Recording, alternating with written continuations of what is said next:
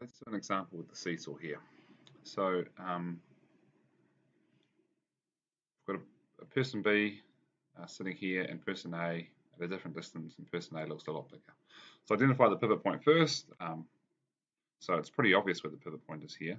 So I draw a nice big fat circle um, where it is so I don't miss it. Now, a, it almost seems redundant. Obviously that's the pivot point, but when you go to do bridges it's a little bit harder. So just get in the habit now of identifying the pivot point first. Okay, draw the forces where they act. Right, so there's, I'm just going to redraw them. Person A has a force of 1,000 newtons. Um, person B has a force of 500 newtons. And um, there's another force because this seesaw doesn't accelerate downwards. It's not unbalanced force. There must be an upwards force here to cancel out those two. It must be um, a normal force.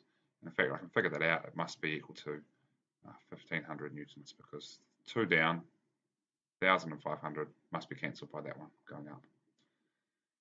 So write down the distances of the pivot points. So uh, we've got this distance here is 1 meter. This distance here is 0 meters because it's at the pivot point.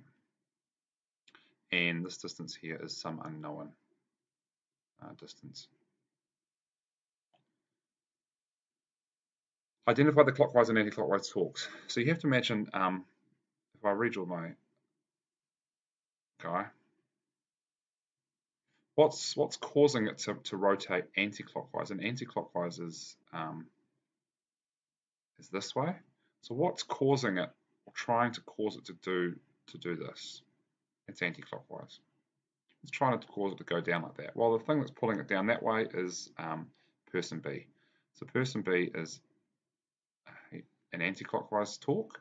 And then what's causing it to go the other way? What's causing it to go this way, which would make the, uh, the thing look like um, like this, pulled down that way, and that is person A. So person B A is the clockwise because um, going around this way is, is the way the hand's going to clock, so it's clockwise.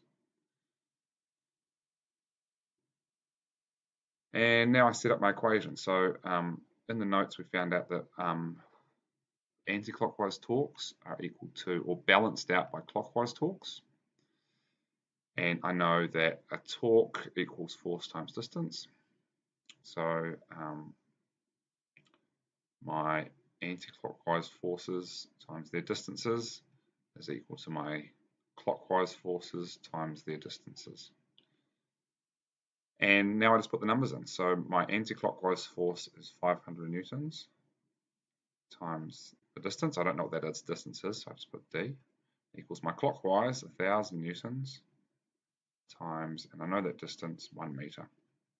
And then I just simplified and find this out. So uh, 500 newtons times dA equals, um, that's a 1,000 newton meters. And then I want to divide both sides by 500 newtons. And that cancels out on that side. And on this side, I get, a, I get two meters left over. Um, so that's it. So good luck with the examples. And of course, the answers are, um, are in your book as well.